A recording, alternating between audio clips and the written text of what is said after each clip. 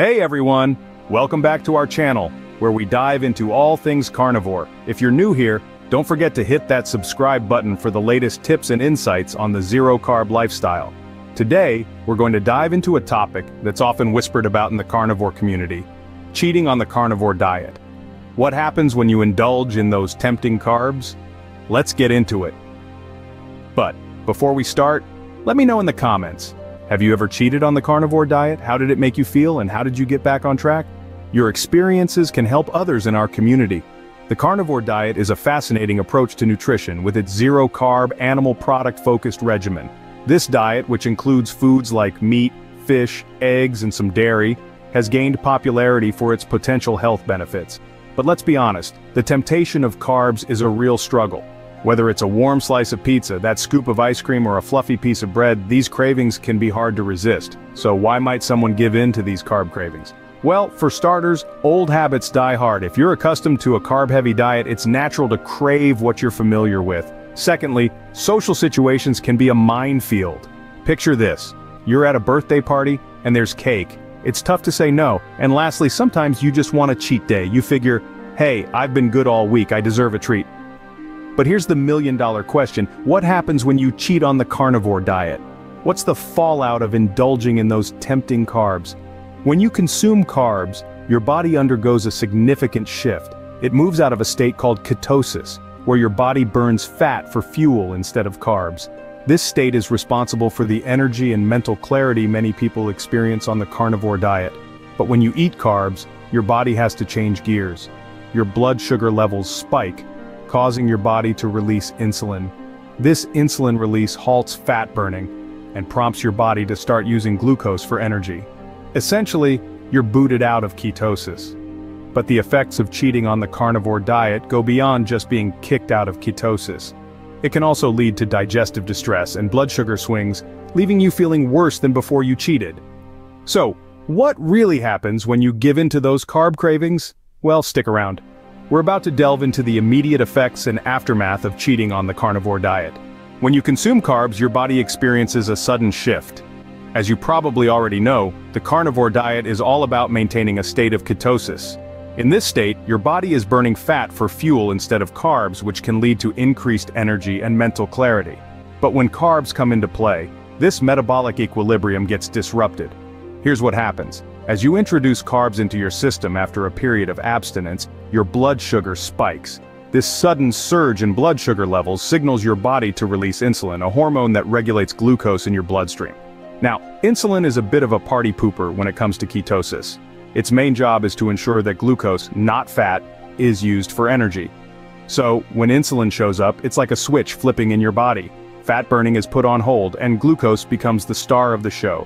In essence, you're evicted from the state of ketosis. But it's not just the shift out of ketosis you need to worry about. Depending on the amount of carbs you've indulged in, it can take several days to a week to get back into ketosis. That's several days to a week of potentially feeling off your game as your body readjusts to burning fat for fuel. And let's not forget about the infamous carb crash. After the initial surge in blood sugar and the temporary energy boost it can bring, there's often a rapid drop in blood sugar levels. This can leave you feeling fatigued, irritable, and struggling with brain fog. So, while that cheat meal might have tasted good in the moment, it can quickly lead to an unpleasant cocktail of physical discomfort and mood swings. It's like a hangover, but for your diet. But the immediate effects don't stop there. Next, we'll delve into the aftermath of cheating on the carnivore diet and what it means for your body in the long run. Stay tuned. Cheating on the carnivore diet can often make you feel pretty lousy, why is that? Well, it's all about fuel. Our bodies get used to processing a specific type of fuel. On the carnivore diet, that fuel is fat. But when you suddenly introduce a large amount of carbs, it can cause some serious digestive distress. You might experience bloating, gas, or even stomach pain. That's because your digestive system has to work overtime to process something it's not used to.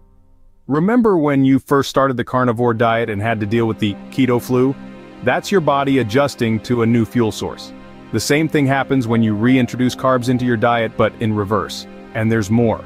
That spike in blood sugar from eating carbs can lead to a crash later on. You might feel a sudden burst of energy followed by extreme fatigue, irritability, and brain fog. This roller coaster of blood sugar levels can leave you feeling worse than before you cheated. Think about it like this. Imagine you've been running on high-quality petrol for months, and suddenly you switch to a lower-grade fuel. Your engine is going to struggle, and you might even experience some serious sputtering. But it's not just about how you feel immediately after cheating. There are also long-term effects to consider. Repeatedly cheating on the carnivore diet can lead to weight gain, increased inflammation, and a decreased ability to burn fat. Plus, it can make it harder to get back into ketosis next time you try to stick to the diet. So, you've had your cheat day and you're feeling pretty rotten. Now what? Well, it's time to recover and get back on track, but that's easier said than done. And the question remains, how long does it take to recover? Well, that depends on several factors. But for now, remember this, cheating on the carnivore diet isn't the end of the world, it's a learning experience. Listen to your body, learn from the experience, and keep moving forward. Getting back on track after a cheat day depends on several factors. Re-entering the state of ketosis, where your body burns fat for fuel instead of carbs, can take anywhere from a few days to a week. This timeline can be influenced by your metabolic rate, the amount of carbs you consume during your cheat day, and most importantly, how you respond to this detour. The first step towards recovery is to return to zero-carb meals. This is easier said than done, as cravings can be stronger after a cheat day. Every time you resist the temptation, you're strengthening your willpower muscle. It's okay if you stumble, just pick yourself up and get back on track. While strictly adhering to your carnivore diet, consider incorporating intermittent fasting or even a full-day fast. This can help deplete your glycogen stores quicker, accelerating your return to ketosis, However, it's important to approach fasting with caution if you're new to it. Always listen to your body and break your fast if you start to feel unwell. Hydrating is another crucial step. Drinking plenty of water will help flush out the excess carbs and toxins from your body. Aim for at least 8 glasses of water a day, but don't hesitate to drink more if you're feeling thirsty. Exercise is also a powerful tool in your recovery arsenal. Engaging in high-intensity workouts can help burn off the extra glucose in your body. Plus, it's a great way to blow off some steam and reduce cheat day guilt. Lastly, don't forget to replenish your electrolytes, especially if you're fasting. Electrolytes like sodium, potassium, and magnesium are essential for your body's functions. You can get these from a variety of sources such as bone broth, sea salt, or even electrolyte supplements. Here are some tips to help you bounce back. A cheat day is not a failure, it's just a bump in the road. The key is to get back on track as soon as possible, learn from the experience, and keep moving forward. Keep these tips in mind, and you'll be back in ketosis before you know it. Fasting, hydration, exercise, and electrolytes can help speed up your recovery. We're talking about the aftermath of a cheat day on the carnivore diet and ways to bounce back quickly. Let's get into it. The first step to a swift recovery is fasting. Consider intermittent fasting, or even a full day fast to help deplete your body's glycogen stores faster. This means your body will start burning fat for fuel again sooner. Now fasting isn't for everyone, so if you're new to it, start small. Try extending the time between your dinner and breakfast, and gradually increase your fasting window. Next up is hydration.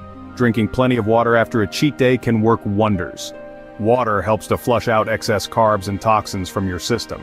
It also aids digestion, and can help to alleviate some of the discomfort you may be experiencing after indulging in those carbs.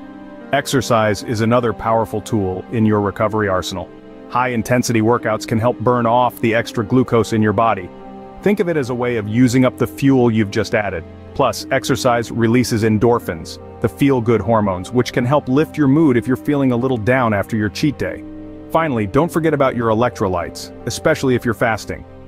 Replenishing electrolytes can help prevent the dreaded keto flu symptoms like headaches, fatigue, and muscle cramps. You can get electrolytes from carnivore-friendly foods like bone broth, fatty cuts of beef, liver, and certain types of fish, or you can opt for a quality electrolyte supplement. I hope you found this deep dive into cheating on the carnivore diet helpful. Remember, we're all human and occasional slip-ups happen. The key is understanding the impact and knowing how to bounce back quickly. If you enjoyed this video, please give it a thumbs up and share it with anyone who might benefit from this information. And don't forget to hit that subscribe button so you never miss out on our latest tips and advice for thriving on a carnivore diet. Thanks for watching and see you in the next video.